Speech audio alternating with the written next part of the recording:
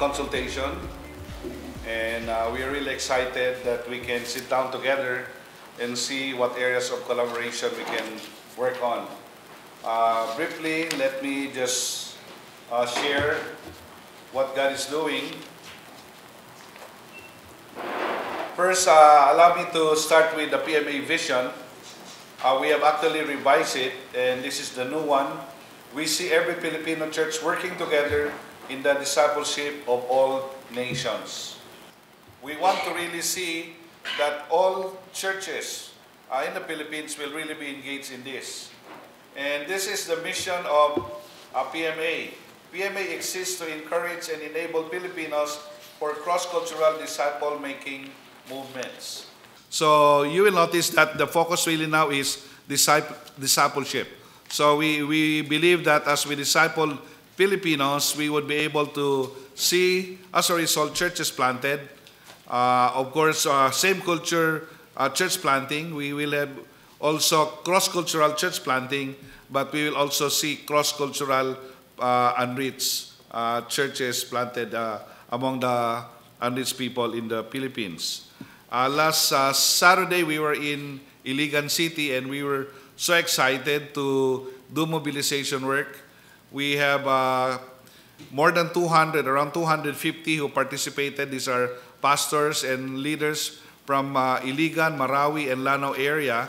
And it's actually a move to really uh, get the churches and believers engaged, uh, especially in reaching Muslims uh, in the South.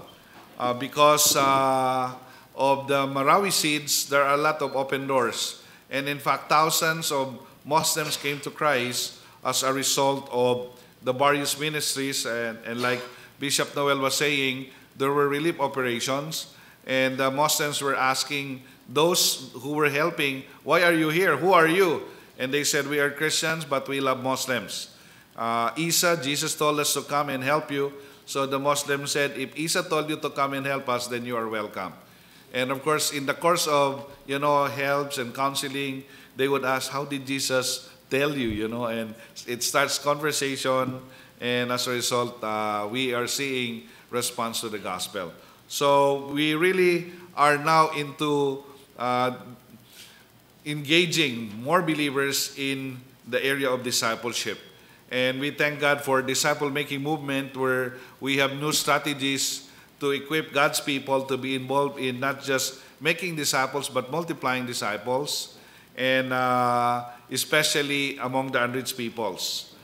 Uh, three, three years ago, we, we uh, had a General Assembly, and the theme was making the Great Commission a great completion in the Philippines and beyond.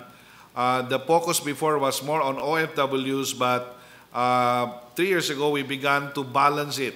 You know, we, we also would want to see all the 13 uh, unreached Muslim people groups reached with the gospel. And the following year, we uh, the theme was optimizing synergy to complete the Great Commission in the Philippines and beyond. And stronger partnerships took place.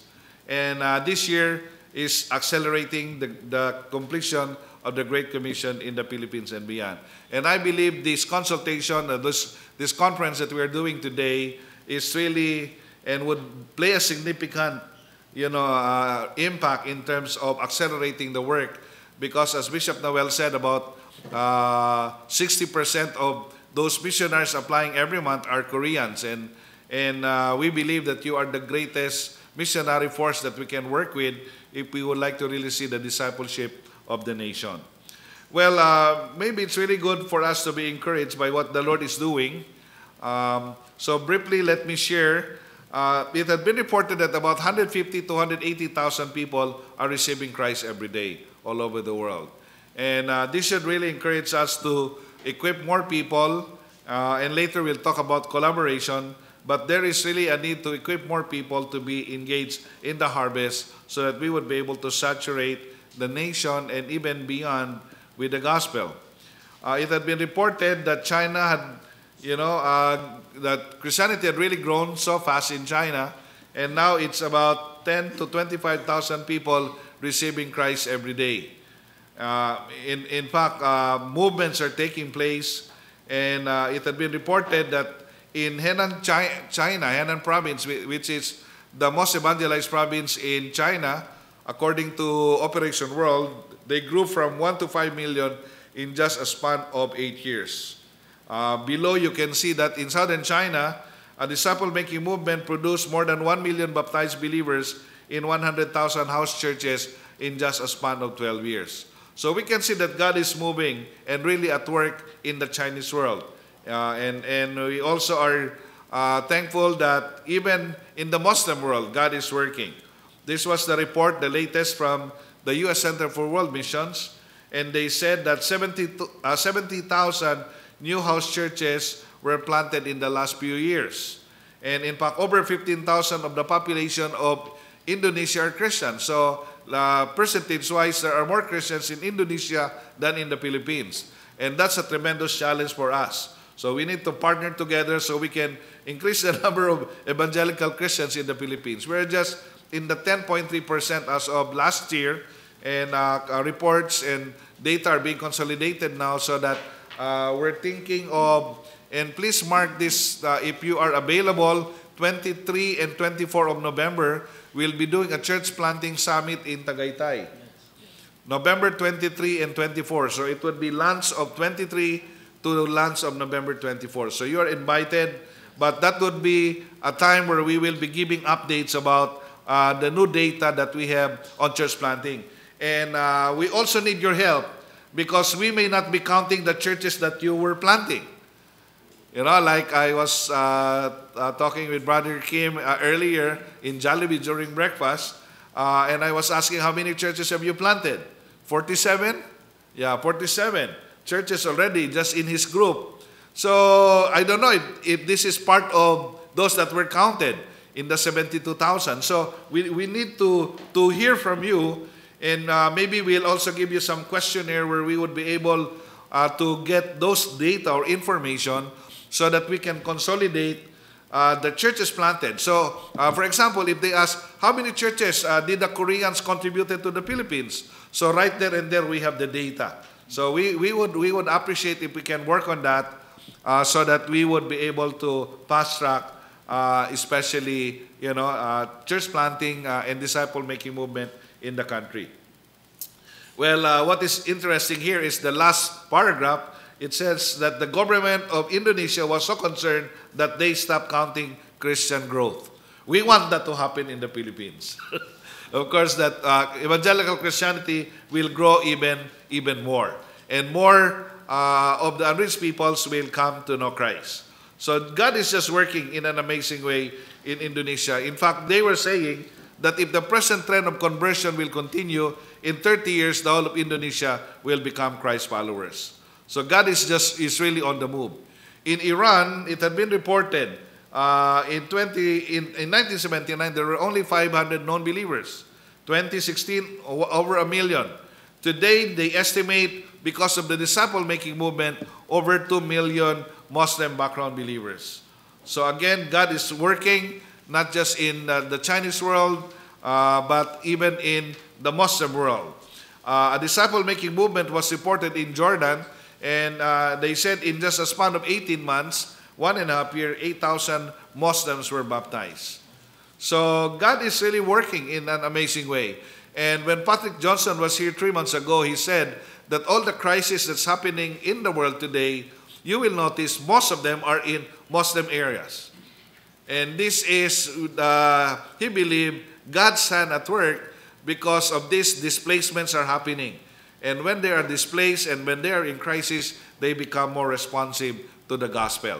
So in, in, in Jordan, for example, there are not now a lot of Iraqi churches because of you know the, the crisis in Iraq before during the Gulf War. Uh, now there are a lot of uh, Syrians responding to the gospel in Lebanon. You know because of the crisis in Syria, more than 50,000 Syrians are now in Lebanon uh, as refugees. So all of these are just open doors for uh, the, the uh, Muslims to become more open to the gospel. So movements are happening all over the world. In fact, in 2013, they said there are 69 movements already happening. Uh, to date, uh, this is of course just for Muslims, but to date, uh, the latest is that there are about 650 movements. Uh, Muslim, Buddhist, Hindus, animist, uh, unreligious movements happening, 650 movements all over the world. And this is uh, actually uh, saying about 50 million new believers. No? So 50 million new believers in uh, 650 movements. So God is just working. In fact, the U.S. Center for World Missions reported that the Christianity now, Christ followers, is the fastest growing religion in the world.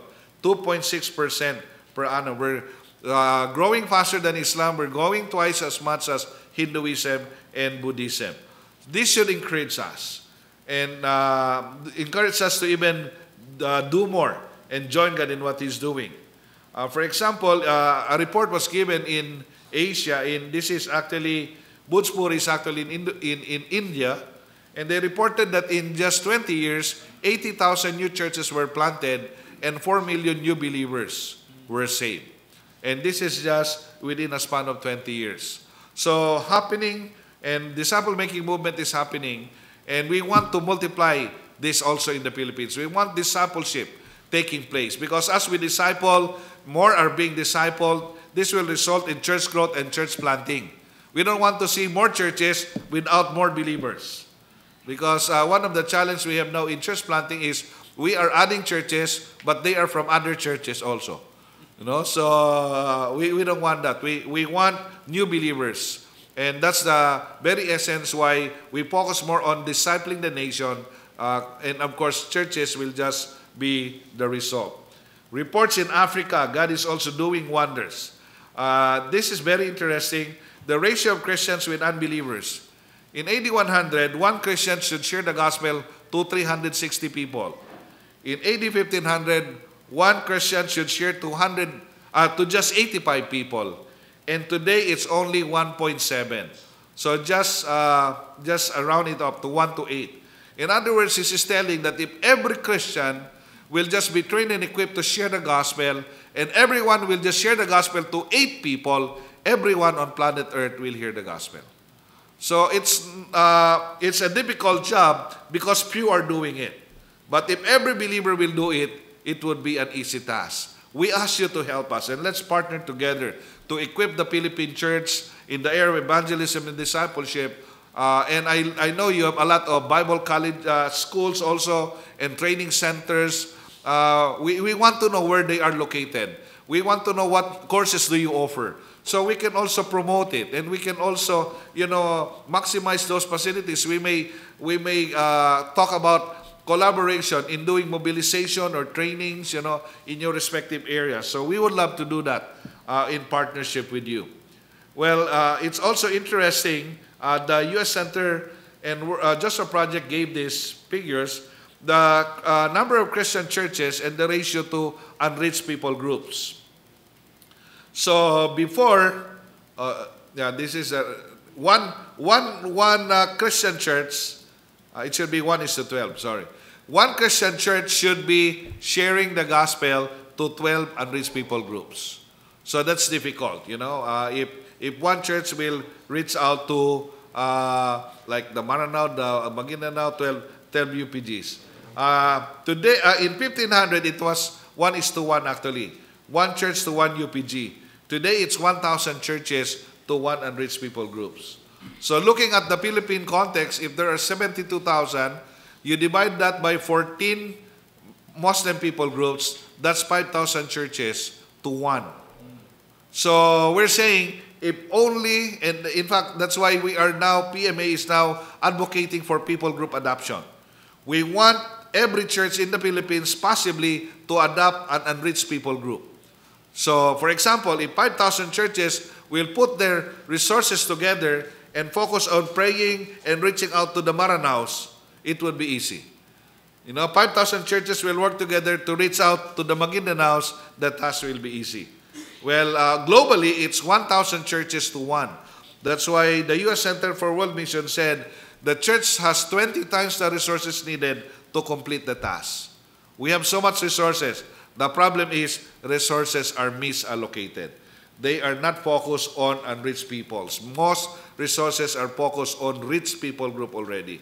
So uh, maybe we can work on this and collaborate so that we would be able to really see uh, more churches planted, uh, of course, as a result of more people coming to Christ. So areas of collaboration, uh, Bishop Noel also talked about already about the Philippines Vision 120 by 2020, and uh, of course the, the, the we're trusting the Lord for 120,000 churches then by the end of 2020. Now uh, we have actually thought of 10 areas of mobilization. Uh, of course, uh, if, if you look there, first is the churches. So we need your help also in mobilizing churches. Uh, so we can see more engaged in uh, planting churches, not only among rich people group, but the greatest challenge in the church planting uh, program now is the unreached peoples. So Bishop uh, reported earlier that there are 42,000 barangays in the Philippines. The 72,000 churches are only situated in the 22,000 barangays. Meaning 20,000 barangays does not have one single evangelical church. Think about that. 20,000 barangays, no single evangelical church. And uh, what are these? If you look at the profile, these are Muslim communities, these are uh, poor and depressed communities, and these are Catholic, uh, diehard Catholic communities. So if there are uh, efforts or focus that should be done, is how can we strategize so that we would be able to, to focus more on the poor and depressed areas. And I believe Dr. Lee will be talking about that, you know, because Aztecs is really into community development and uh, establishing of cooperatives so that we are able to address those poor and depressed communities. And as they come to know Christ, they are also growing economically. And then, of course, uh, these 20 these 20,000 unreached people, uh, I mean barangays, the Muslims are, are there.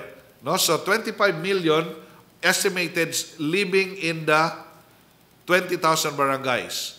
Uh, if, if Muslims are about 11, they, they, they claim to be 11 to 12 million, meaning about half of those in unchurched barangays are Muslims. So how can we strategize and work together so that we would be able to see more churches planted among the Maranaos, the Magindanaos, the, the Taos, the, the Muslim people group. And mind you, we don't have to go all, all of us go to Mindanao to reach out to the Muslims because they are all over now. You go to Pangasinan, a lot of Muslims. Go to Baguio, a lot of Muslims. Metro Manila alone, a lot of Muslims. So we just have to equip our churches how to be able to respond to the challenge. Uh, that's why Lausanne is saying missions is from everywhere to everywhere. Because uh, now, again, they, uh, I mean, Muslims are all over. Go to uh, Green Hills, go to the Changi, and uh, you will see uh, a lot of uh, Muslims there. OFW diaspora, we want to mobilize that, our diaspora. The next generation, the youth, should be engaged. That's why we are now planting churches in campuses. Uh, one student was instrumental in Bicol University to plant eight student churches. One campus, eight student churches started by one student. We want to multiply churches like this, you know. So, because we believe church is not the building, it's not a location, it's not an institution, but a church is, the, is, is God's people. It's a movement. And therefore, we can actually have churches in all campuses, in, in military camps, in police stations, in call centers, you know, in, in businesses, wherever. So we can we can claim all of these places and and be able to really see churches established. Of course, uh, the mobilization of the laity business people, we have to to mobilize them because we want every businesses, you know, uh, especially Christian business establishment, there will be churches planted there. We want to mobilize media and arts. We want to encourage seminaries also to, uh, re to revisit their curriculum. Because now it had been discovered that many Bible schools and seminaries have really been focusing on non-essentials. Look at their evangelism subjects and mission subjects and realize it's not even 10%. No wonder we have many graduates in seminaries and Bible schools, colleges, that are not planting churches, that are not evangelizing, that are not making disciples. So we're challenging seminars and Bible schools to revisit their vision, mission. Christian NGOs must also be mobilized so that we would be able to maximize, you know, using uh, during calamities like what happened in Marawi, if our uh, guys that are involved in doing relief operations are trained to do uh, evangelism and cross-cultural evangelism for that matter, they are able to communicate the gospel even to Muslims as they serve them. So it's not just giving relief goods, but it's really equipping these guys giving so that as they give, they are able to communicate why they do what they are doing. Mobilizing prayer networks, mobilizing ministerial fellowships. The task is still great. We need your help. You have influence in your, your respective areas. Help us organize the ministerial fellowships let, so we can cast the vision of planting churches, working together, and, and uh, just, just uh, seeing this happen will, I believe, fast track uh, our church planting initiative. So these are some of the guys that are involved, the many uh, actually uh, vision casting events that we did in various parts of the country. Uh, of course, uh, Bishop Noel and I were in many places, and we are just so excited to see how churches are responding. No? Even in Mindanao, we have 350 in Butuan, uh, 350 in Cagayan, 450 in Dipolog, and uh, God is, is working amazingly. This coming September 6, we will be in Laoag. Uh, so if you have contacts, anybody that uh, have contacts or ministries there uh, in the north, we are calling the pastors there. This is the venue, Bethel Central Church, and we're really excited uh, that the ministerial fellowship in uh, Laoag is uh, helping us in this. We have, of course, ministries with major religious blocks. If you go to Davao now, I, I, we were told we, there were uh, some of you are from Mindanao. Anybody from Davao?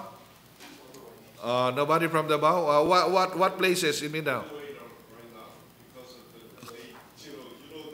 Ah, okay. Anyway, oh, on the way. Yeah, but you know, in Davao City alone, and, and we have, you know, we have a lot of Koreans there. We, we would like to partner with them really.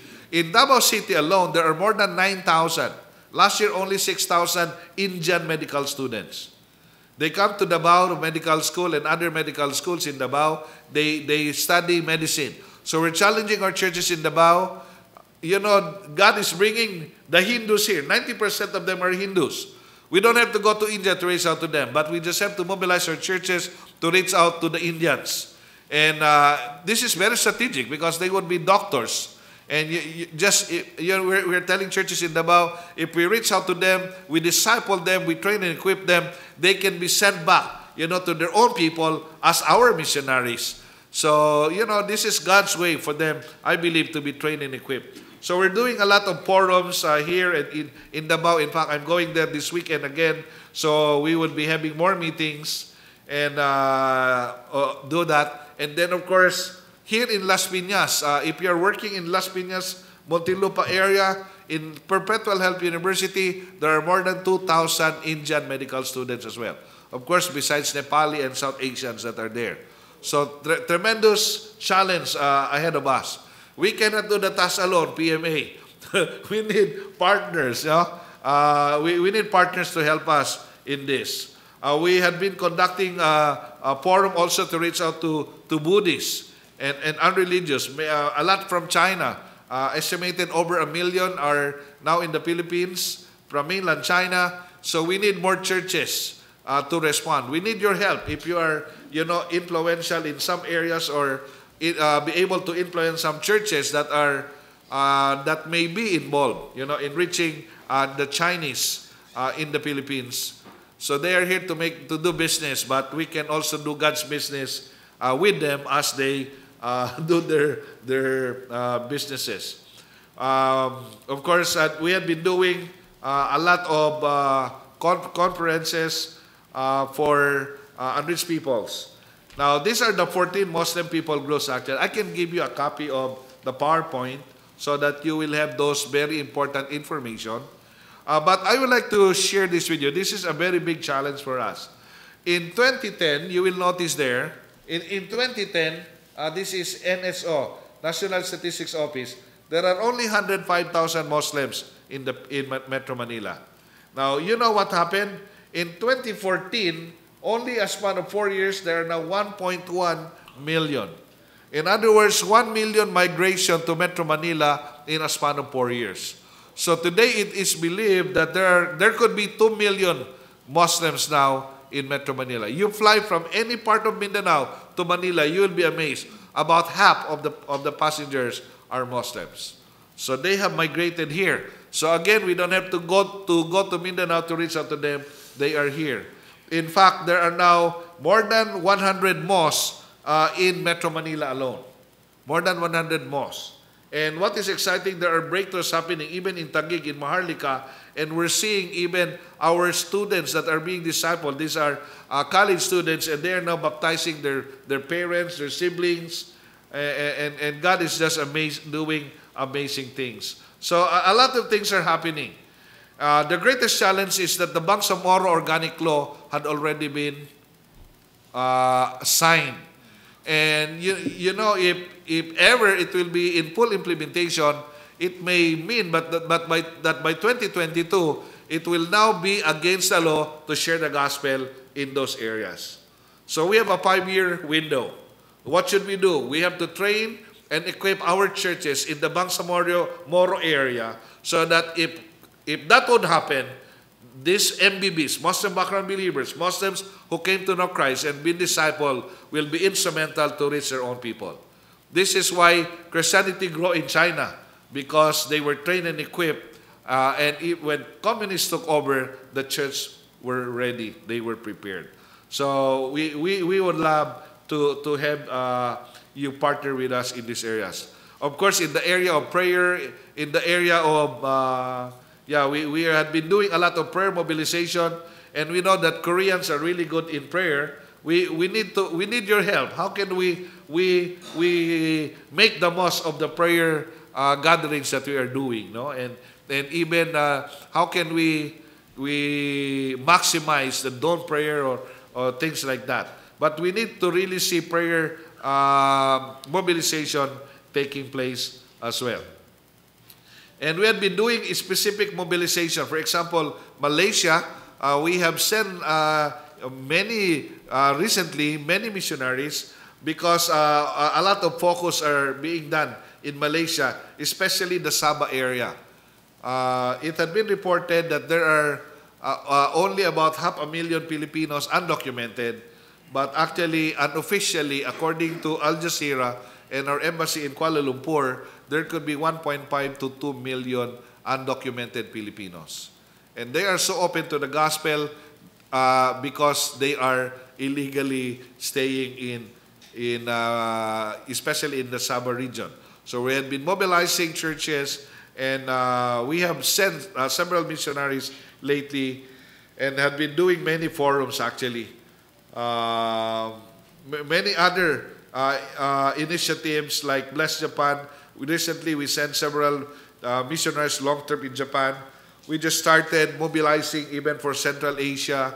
and recently, we, we sent missionaries in Kyrgyzstan, Kazakhstan, and Dostan, Tantan, uh, and uh, we're, we're doing Bless Japan again uh, in, uh, in on the October 27, October 20, actually, here in Manila.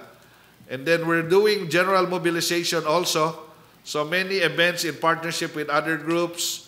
Of course, with uh, Dr. Elijah Kim, we did that uh, also. Uh, and, and many other different organizations, just partnering with them so that we are able to see more general mobilization taking place. And uh, last month, uh, we were in Antique and Iloilo doing um, uh, missions mobilization.